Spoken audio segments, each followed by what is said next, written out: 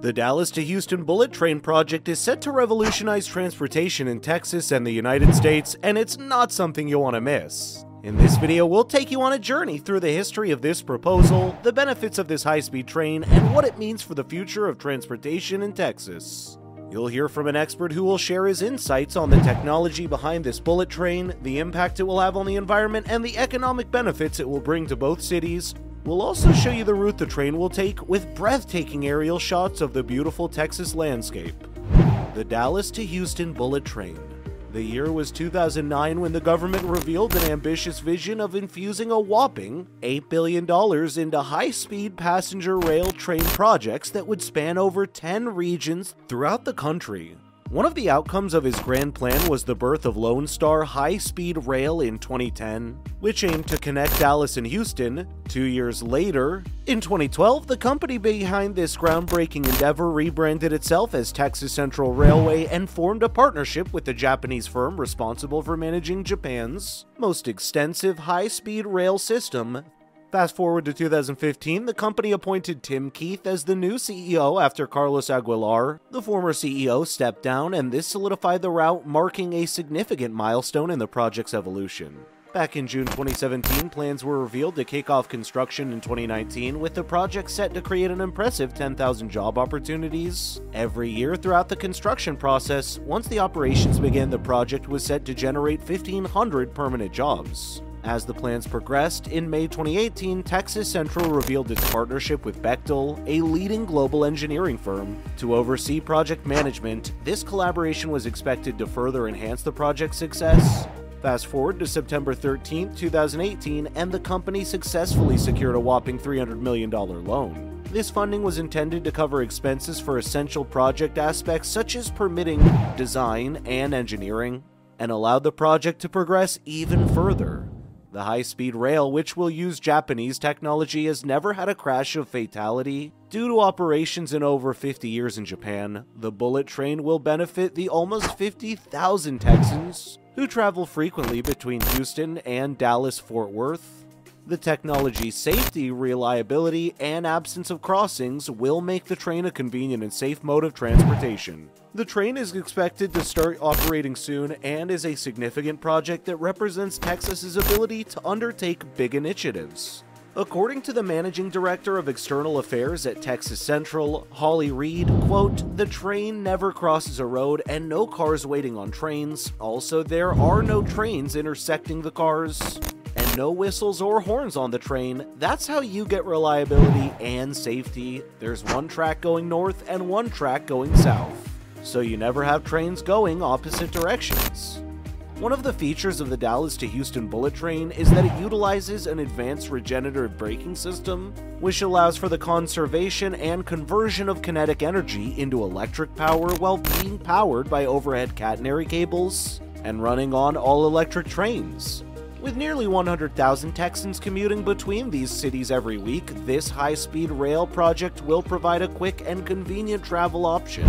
The 240 mile high speed rail line can transport passengers between Dallas and Houston in just under 90 minutes. With a stop in the Brazos Valley area, departures are made available every 30 minutes during peak periods and every hour during off peak periods. There are six hours reserved each night for maintenance and inspection.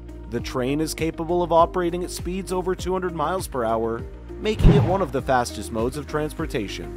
Plus, the train features spacious, wide-bodied seats arranged in 2x2 configuration, with ample leg, head, and elbow room. Say goodbye to the middle seat squeeze. The train offers a choice of service levels with quiet and work-friendly cabins, food and beverage options to fit your needs and budget, plentiful Wi-Fi, and powerful outlets. This allows you to get down to business, read, enjoy a movie, talk, or catch a quick nap during your journey. Fares are highly competitive with the cost of travel by car or commercial air service. You'll also have access to a variety of retail stores, restaurants, and shops located in passenger stations all with a distinctly Texas style of service provided by well-trained staff who are eager to please. With departures available every 30 minutes during peak travel periods, you can easily review schedules, select seats, purchase tickets, change travel plans, order onboard food and drinks, reserve rental vehicles at your destination, and book onward travel connections online or via mobile apps. Stations are located with easy access to major roadways, connections to public transit options, and plenty of on site parking. Wondering why this project became necessary? With Dallas and Houston among the top cities in the US, with an insanely growing population coupled with the reports from US Census Bureau, the population in these areas is only going to increase in the coming years. But here's the problem. It currently takes up to 4 hours to travel between these cities by car, and that's without factoring in traffic and other delays. Unfortunately, things are only going to get worse. The Texas Department of Transportation has reported that by 2040, it could take up to six hours to travel between Dallas and Houston due to increasing CO2 levels. That's a huge amount of time to spend on the road, and it's not sustainable for the environment either. A high-speed train that will connect Dallas and Houston became necessary. This train will not only help reduce travel time to just 90 minutes, but it will also be environmentally friendly by reducing carbon emissions. This train is a much needed solution to the transportation problems between these two cities, and it will undoubtedly make a huge impact on the lives of the people living in the areas. The major reason for the delay in the project? The Dallas to Houston Bullet Train project has faced several challenges, including lawsuits from landowners along the proposed route. The landowners sought to prevent the company from conducting surveys on their properties, which are necessary for the project's planning and implementation. One of the major issues of these legal battles was whether or not the company could be considered a railroad company, which would grant them the ability to use eminent domain to claim land for their project. The back and forth between the company and the landowners dragged on for years, with many legal battles being fought in both the court of public opinion and the court of law. While the company argued that they were indeed a railroad company, some landowners contended that they were not and that it should not be able to use eminent domain to claim its property. The green light. In 2022, the Texas Supreme Court issued a ruling that clarifies the eminent domain authority of Texas Central the court ruled in favor of Texas Central in a 5 3 decision, stating that the company has the power to use eminent domain to acquire the land necessary to build the rail.